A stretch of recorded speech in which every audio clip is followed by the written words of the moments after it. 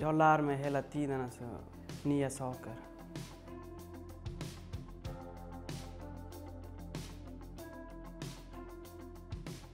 Jag valde för att jag är intresserad av att jobba med händerna och med praktiska saker och varierande arbetsuppgifter.